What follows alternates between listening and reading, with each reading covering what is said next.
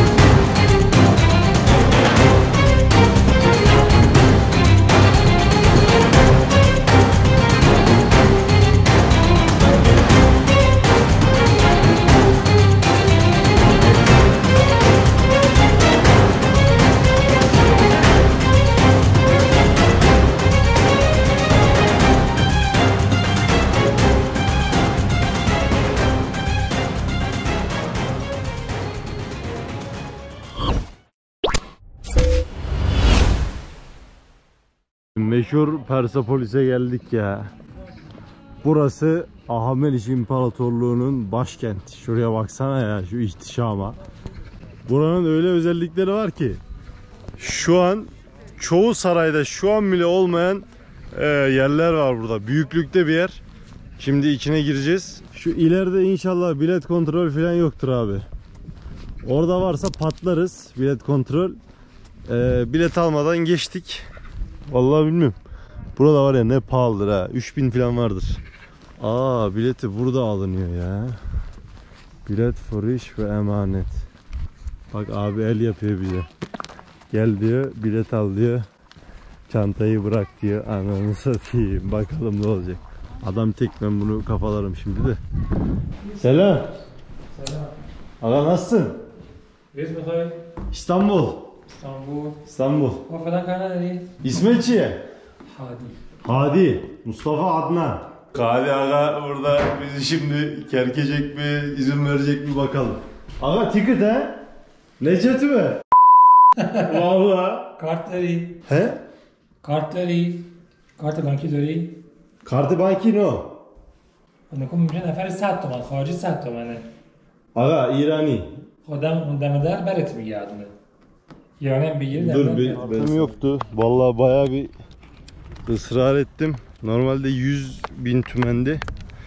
Ee, İranlara 5 riyalmiş. 5 tümen. Oradaki görevliler anlamasın dedi. Bakalım yine bir cendireye girdik. Anasını satayım yani.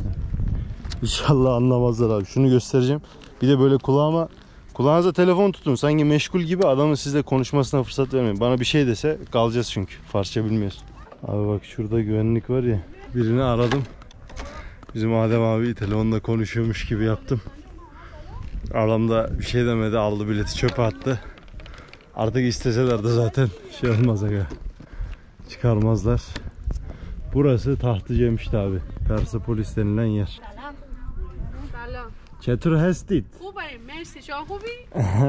Farsi. I don't know Farsi. Do you know English? Yeah, I can speak English. Here is the guide, okay? Ah, your guide. Yeah. Okay. If you like, you can have a guide for explanation of the site. How much is this? It's uh, one hour and uh, something like half, uh, 30 minutes. Uh, one million and half riyals. One million It's less than uh, three dollars. Okay, I will take a look and uh, I will think about it. Yeah, it's the the most important monument in Iran. Yeah, I know. I I read a lot of things about Yeah. this place. Uh, you were you were explaining something with the, your camera, yeah? Yeah, yeah, I will You- explaining. You said something about Takht Jamshid and No, no, it's not Taht Cemşit. Yes, of course. Yeah, Pasa Pasangrat or something. Taht Cemşit in in Pas. No, that I know, here I know, I know. It's it's not Taht Cemşit. I know. Here is uh, famous to Takht Jamshid, but the real Yeah. name is Parsa. Persepolis. Yeah, yeah, I know. Ahameniş. And also Bizi kilitlediler 2 saat. İçeri girip gezelim. Keşke anlamasalardı aslında da. Artık girdik içeriye yapacak bir şey yok. Bir buçuk saatlik rehber 1 milyon 500 bin yani ne? O da işte 70-80 lira falan yapıyor. Ama şu kabartmalara falan baksana ya.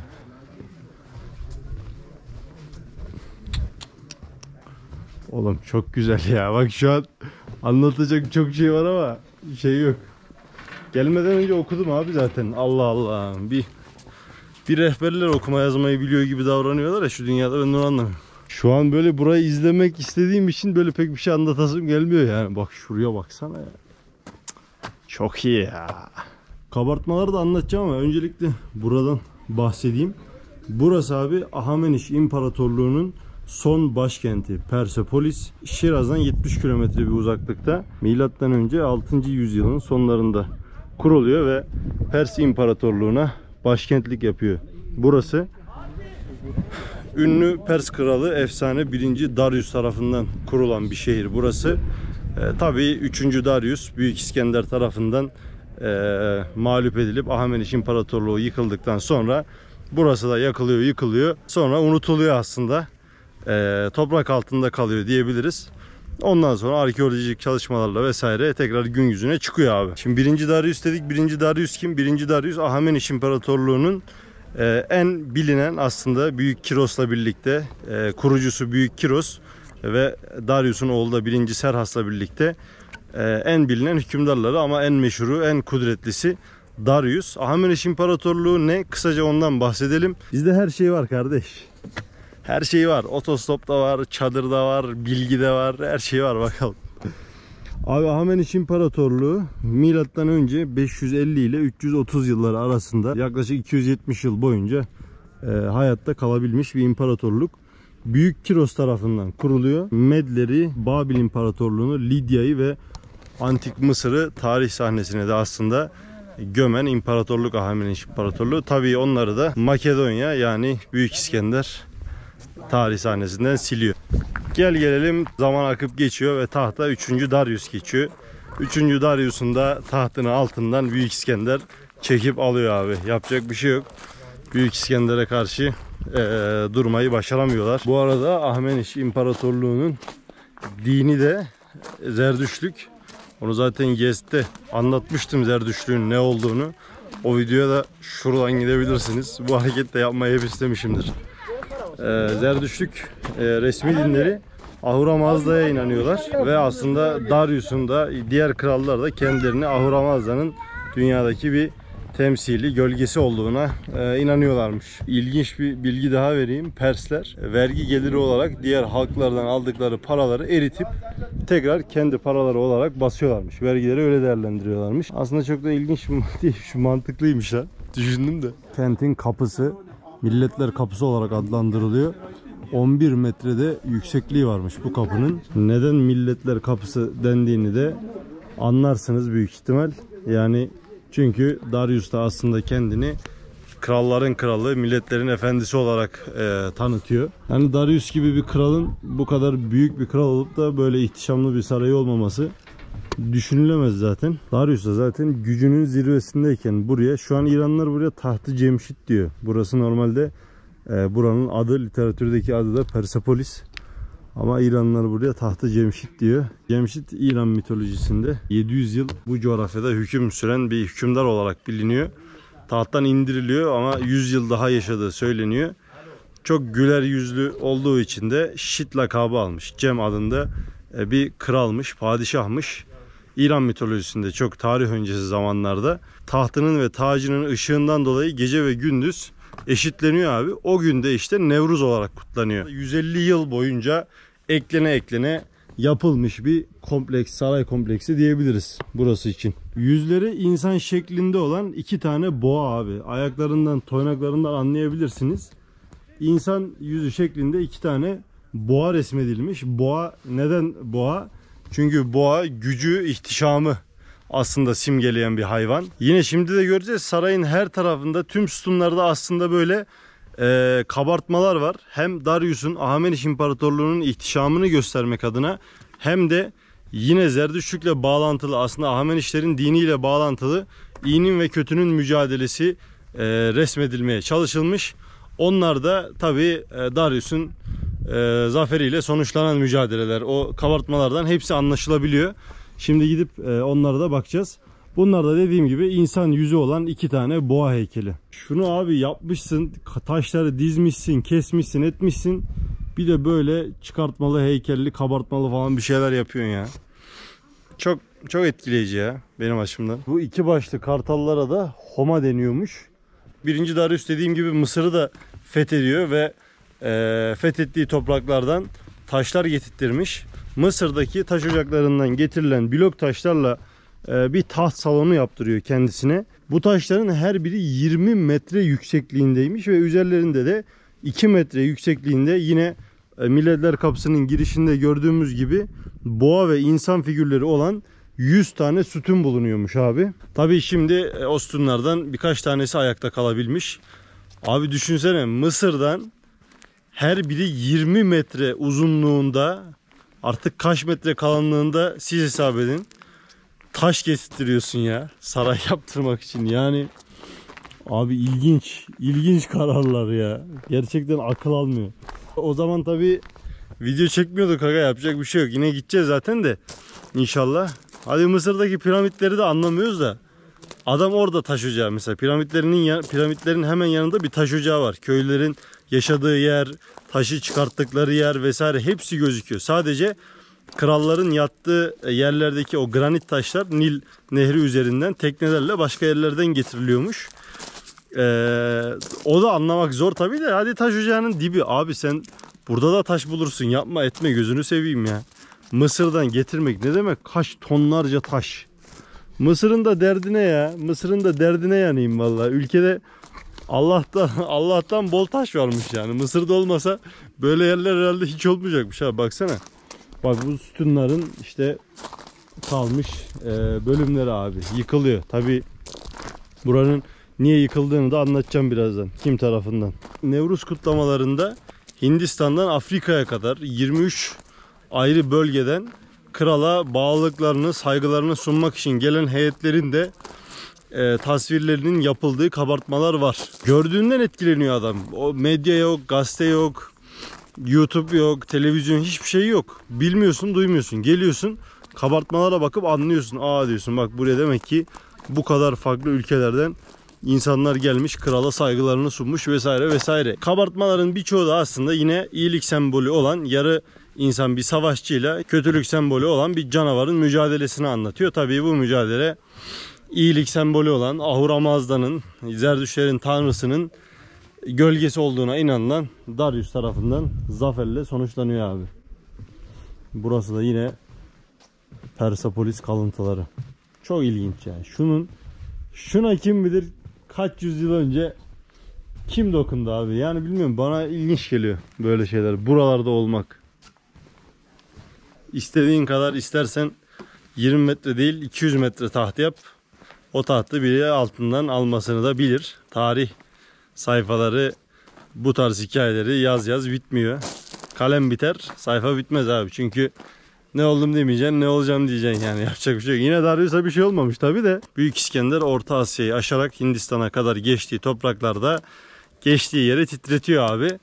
Bu hışımdan nasibini de 3. Darius alıyor. Büyük İskender'in ordusu aslında sayıca daha az ama zaten Büyük İskender'in namını herkes biliyordur. Hiçbir savaşta yenilmediği de anlatıla gelir. Tarihin en büyük savaşçılarından birisi. Makedonya İmparatorluğu'nun kralı. Şunlara baksana ya şu kabartmalara. Buraları ayrıca yine çekeriz. Şimdi yolda artık çekebildiğimiz kadar. Bak burada sürekli bir kral taşınırken, bir krala hizmet edilirken, bir şey sunulurken bir de iyilikle kötülük savaşırken e, sürekli resimler var abi. VR gözlük var. Herkeste var. Nereden alıyorlar bilmiyorum. Rehber herhalde onun parası ayrıdır zaten de. Ben almadım. Öyle herkes ondan bir şey izliyor. Ne izliyorsa abi gerçek göz gelmişsin gör işte izle. Büyük İskender'de iyi bir savaş taktiğiyle aslında daha sayıca az olmasına rağmen Pers İmparatorluğunu, Ahmeniş İmparatorluğunu birkaç saat içerisinde bozguna uğratıyor ve burayı ele geçiriyor. Tabii Pers ordusunu mağlup edip saraya girdiği zaman çok büyük bir şok geçirdiği anlatılıyor İskender'in. Tabi rivayet. Yani hayal ettiklerinin bile ötesinde çok e, eşsiz güzelliklere şahit oluyor. Girdiği zaman Persepolis'e o dönem ve bu e, bugüne kadar anlatıla geliyor. Yani burnuna gelen güzel kokulardan tutun pınarlarından içtiği su Şiraz'ın üzümü çok meşhurmuş. E, tabii o dönemde de o üzümle yapılmış şaraplardan vesaire de içiyor İskender. E, bu onu çok mest ediyormuş bu gördüğü tüm güzellikler. Hayalinin de ötesinde güzel bir yer görmekten tedirgin de olmuş. Ağaçların altında sere serpe yatan hurileri görüyor. Güzel ağaçları, bakımlı bahçeleri görüyor ve her şeyin gördüğü her şeyin ilahi bir güzellikte olduğunu düşünmüş ve tabii rivayet cennet benim oldu diye e, bir kelime kullanmış burayı ele geçirdikten sonra. Tabii Büyük İskender Hint seferinden dönerken e, burada Persli bir kadınla e, birlikte oluyor ve zehirleniyor. Bu zehirlenme faciasından sonra da söylenen o ki askerlerine burayı o, güzel antik şehri yaktırıp yağmalattığı üzerine bir söylem var. Onu da ekleyelim.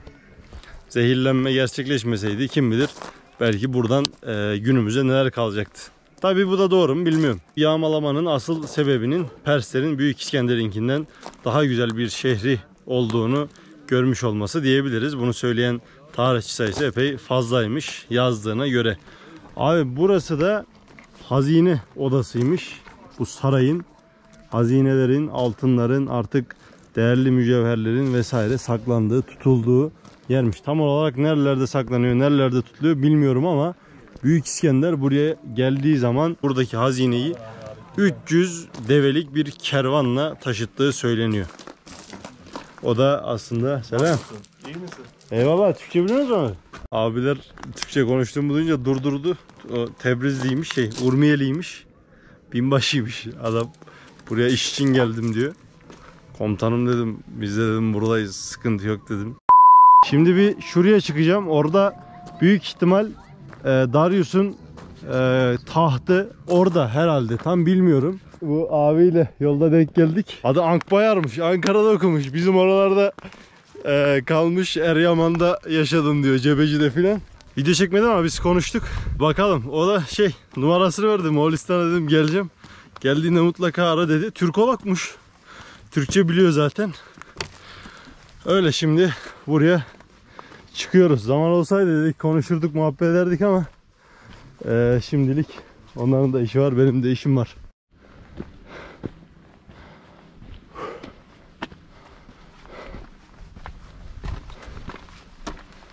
Şu an bak gerçekten diyorum böyle bir birinin huzurla çıkacak gibi giriyorsun ya içeriye.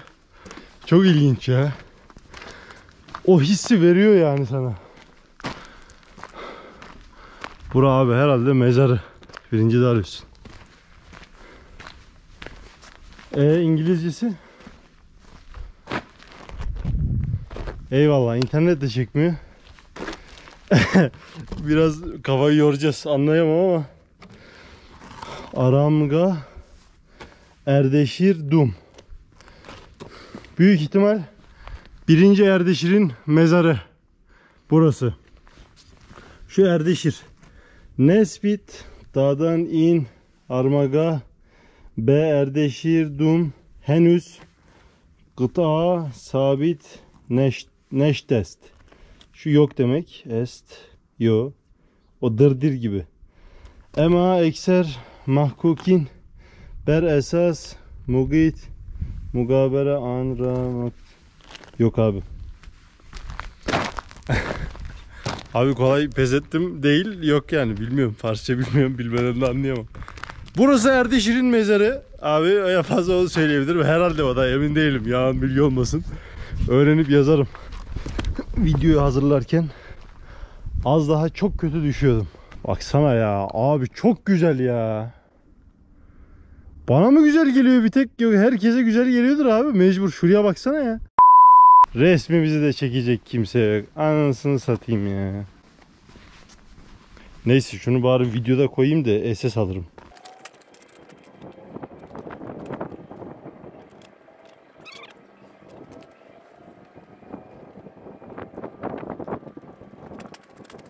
Bu da benim kimse yokken resmimi nasıl çektiğimin hikayesi.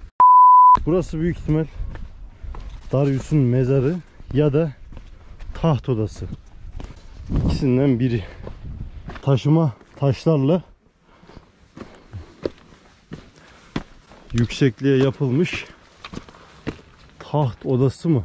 Ay şirisim ne? Şirisim kim oğlum ya? Şöyle.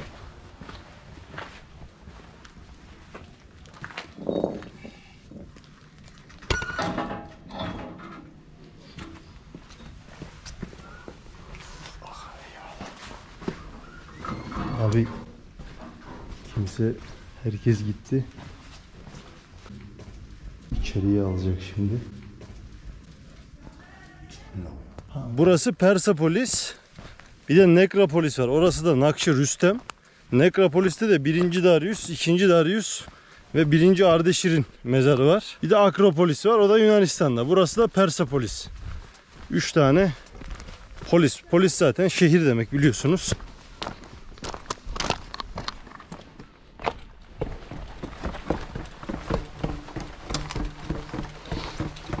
Bu gördüğümüz yapı da Hadis adı verilen bir e, saraymış.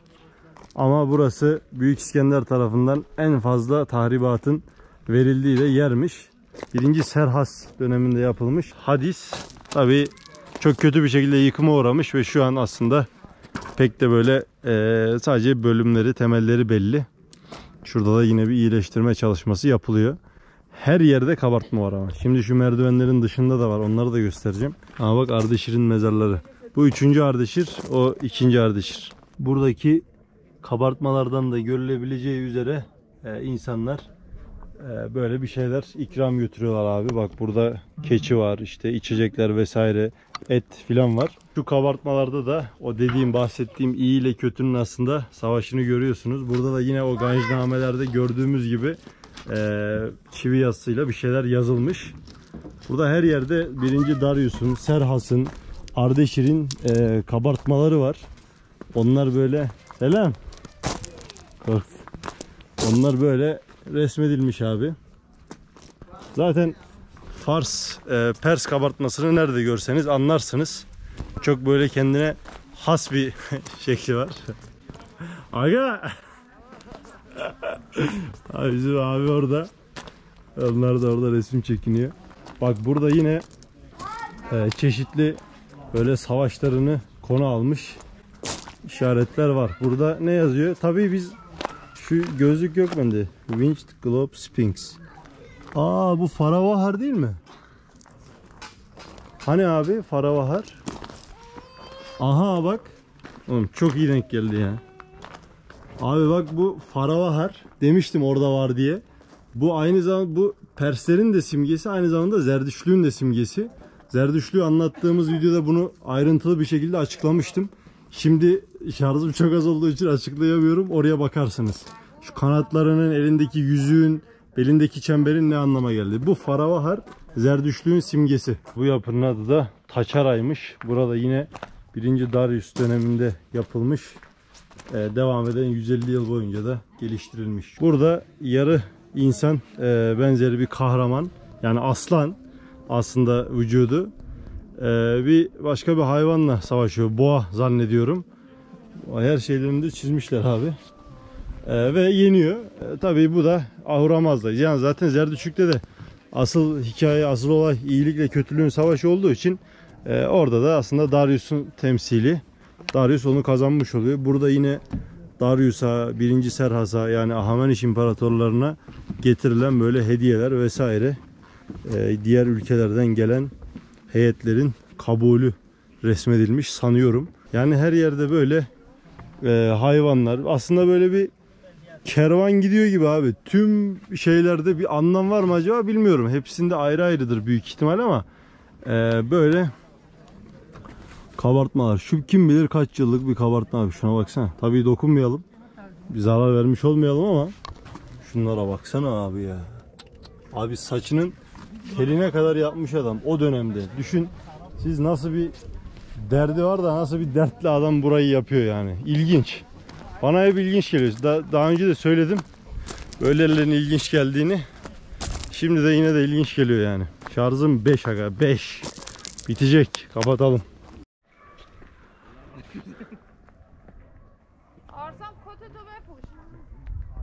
Şimdi otostop çekeceğim. İnşallah birini bulurum. Hava kararıyor. Hava kararınca pek almıyor insanlar burada. Gözlüğü ablanın biri denetti. Kendi verdi. Al bak filan istersen diye. Böyle renkli filan gözüküyor abi. Eskiden hani nasılsa 3D animasyon gibi gözüküyor. Daha nasip değilmiş. Sıkıntı yok. Biz kendi gözümüzle canlandırdık o daha iyi. Bu videoya şimdi Şiraz'da devam edeceğiz. Şiraz'a şimdi gidiyoruz. Bir yemek yeriz. Birkaç çay kahve filan içeriz. Sese kulak verin.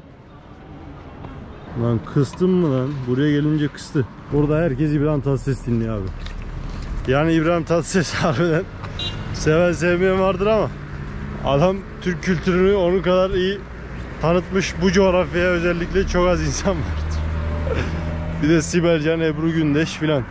Burada çok seviliyor. Abi şu yolda otostop çekeceğiz. İnşallah birileri alır. Bak gelen de hep taksi ya. Durur mu acaba? Durmaz. Hızlandı bizi görünce. Aha durdu.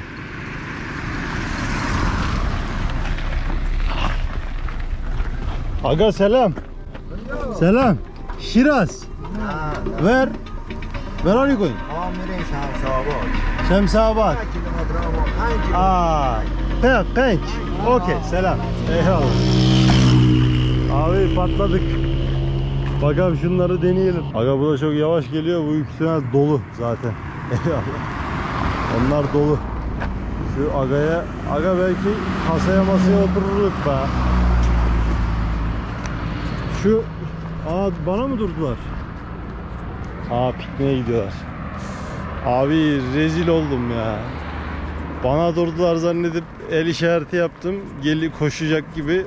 Bunların da ne yaptığını anlamadım. Ablalar da burada. Selam. How are you? Yeah, thank you. Türk, do, do you speak Turkish? Really? Okay, talk.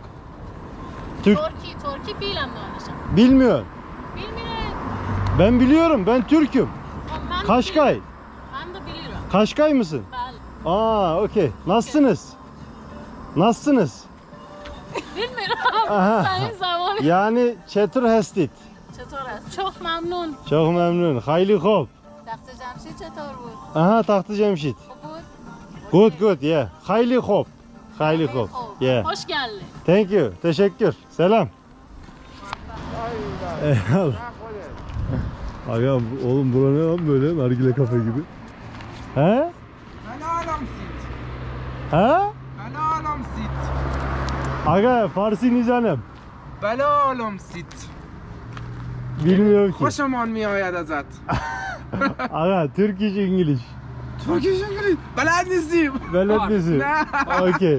You are from Merveşt ha? Merveşt. Bale. Merveşt. Gel. Bale. Gel aksi bir girelim aga. Eyvallah. Nasıl hoş. Eyvallah aga selam. Eyvallah eyvallah.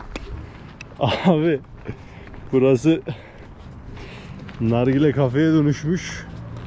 Persap Persepolis Persepolis değil artık nargile kafe. İlginç ya çok iyi ya. Aga bura bura var ya tam şeylik ya tam ortamlık bak adam reis de şimdi ateşini hazırlıyor şurada. Selam bro how are you? How are you? Eyvallah İstanbul. Eyvallah selam. He? Aga Şiraz. Saat geçiyor. Eyvallah sağ olsun.